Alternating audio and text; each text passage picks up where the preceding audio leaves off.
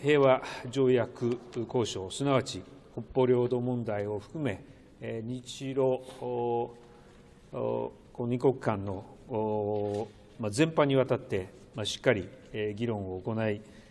今後の首脳対話につなげていきたい。日露外相会談は去年9月にモスクワで行われて以来およそ半年ぶりとなります。